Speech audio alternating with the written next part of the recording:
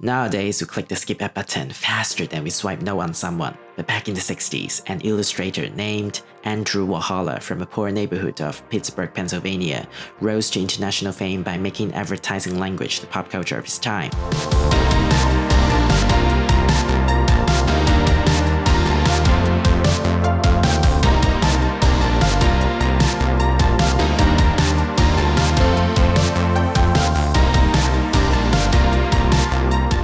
Shocking artwork from Campbell's soup cans, deaths and car crashes to overexposed Polaroid pictures of genitals captured the attention of the whole world for generations. Here are his six lessons to survive as an artist and get more than just your 15 minutes.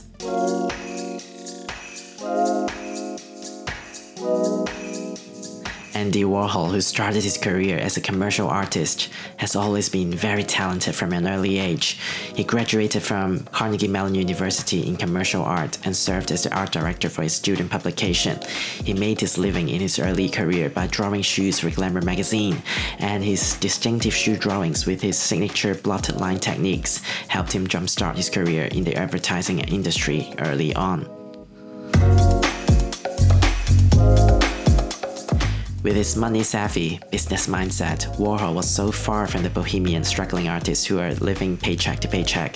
He did not only become rich and famous after death, he was rich and famous before he made the concept of fame famous.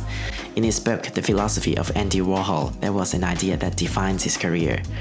Making money is art, and working is art, and good business is the best art. That is consumerism, a theme that echoes loud and clear in his body of work. I'm a commercial person. Why? Well, I've got a lot of mouths to feed. Gotta bring home the bacon. And his work was instantly recognizable. Uniquely Andy Warhol, yet familiar to most of his audience. Whether you are an art critic of The New Yorker or someone who just came across Warhol Diaries on Netflix, you can appreciate his art immediately without any prior art education. When his soup can was first featured in Time magazine in 1962, he started a movement that was exciting and new to the public by putting classically American, day-to-day objects onto the white gallery walls and selling them at a price a few hundred times more than what the actual objects were worth. At the American Supermarket Exhibition in 1964, his painting of a can of Campbell's soup cost $1,500, while each autographed can was sold alongside the painting for $6.50 each. In order to make room for his creative experimentation in art, he made art that is uniquely him and also accessible to the public at the same time, from Campbell's soup, dollar bills, bananas, pistols, and Coca-Cola bottles. Warhol had this to say about Coca-Cola. What's great about this country is that America started the tradition where the richest consumers buy essentially the same things as the poorest. You can be watching TV and see Coca-Cola and you know that the president drinks Coca-Cola, Liz Taylor drinks Coca-Cola, and just think you can drink Coca-Cola too. A Coke is a Coke and no amount of money can get you a better Coke than the one the bum on the corner is drinking. All the Cokes are the same and all the Cokes are good. Liz Taylor knows it, the president knows it, the bum knows it, and you know it wonderfully unique yet incredibly familiar.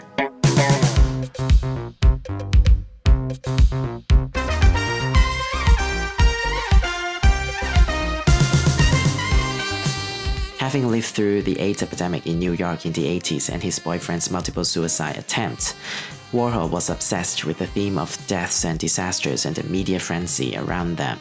It is what makes death pop. He saw a tightrope artist fall and die in front of millions in the news and saw how he dominated pop culture and the zeitgeist of the general public. He knew how to exploit shock values in deaths and disasters like the news outlets do. Suicide, pop. Plane crash, pop. Race riot, pop. Car crash, pop.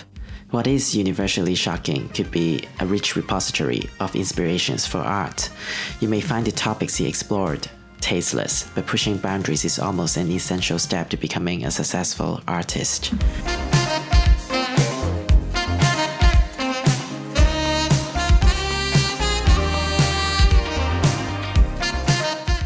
Warhol is famous for his silkscreen paintings of global superstars. We send it out to a staff place and they just enlarge it. Then I trace it on the canvas and then paint on the canvas. From Marilyn Monroe Elvis, Marlon Brando, Muhammad Ali, Elizabeth Taylor. To Mao, his subjects were always famous and were frankly the products of mass consumption. We consumed them in movies, in music, and in political ideologies. And in turn, Warhol in his studio called The Factory. His studio was called The Factory, well named because Andy had a large staff of assistants. A place where he, his assistants, distinguished intellectuals, drag queens, playwrights, Hollywood celebrities gather around to party and also make art. He and his assistants would work day and night to churn out these paintings which are highly replicable. Each step of the painting could be standardized to a point that everyone around him could take part in the repetitive process to achieve the same quality of work.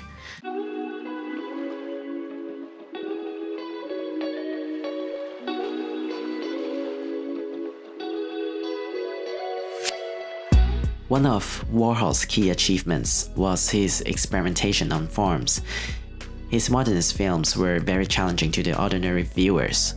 For example, Sleep is a film that consists of 6 hours of naked footage of Warhol's lover at the time, John Giorno. He literally sleeps in his bed the entire time. Nine people attended the screening and two left within the first hour. Compared to the commercial films we consume, Sleep does not give you the illusion of continuity. There isn't a three act structure in the movie, there's no setup to understand the character and no climax to anticipate, just a 6 hour CCTV footage of his lover. His other films are just as radical as this. You look at the movie Kiss, which is just hundreds of people making out. It's really erotic and really cool. He had men doing it, which was unheard of at the time. Chelsea Girls, no instructions. The projectionist can turn the sound on either reel, whatever you think. Couch, one that parts of it are obscene. There's full sex in it. Blowjob is so brilliant still because it is a blowjob, but you don't see the sex. You just see the guy's face. That's one of the best movies ever. He made you look at things in a completely different way, and that's what art is, isn't it?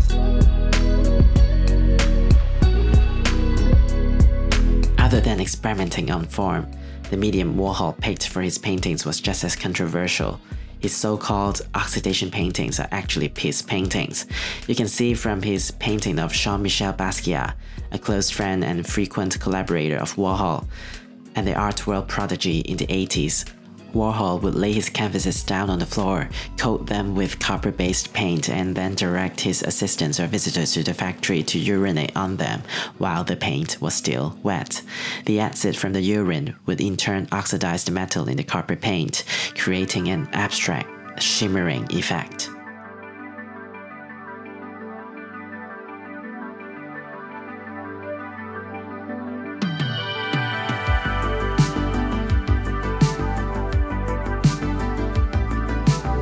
It may be very intuitive for artists to use themselves for inspiration, and very intuitive for the outsiders to criticize how self indulging artists could be.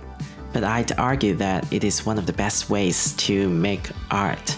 Even if the piece wasn't worth anything in the end, it still meant something to you.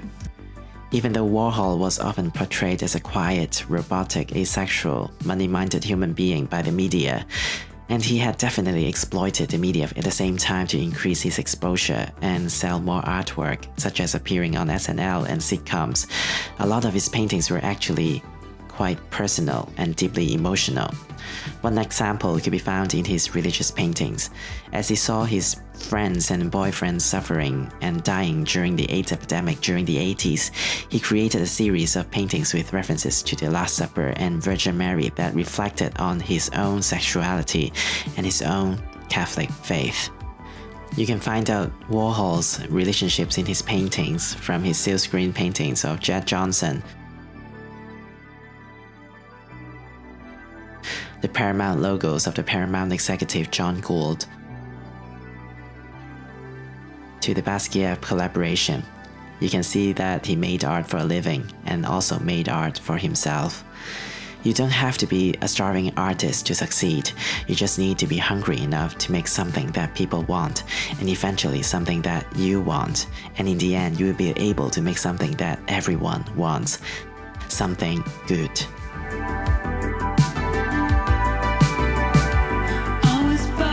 myself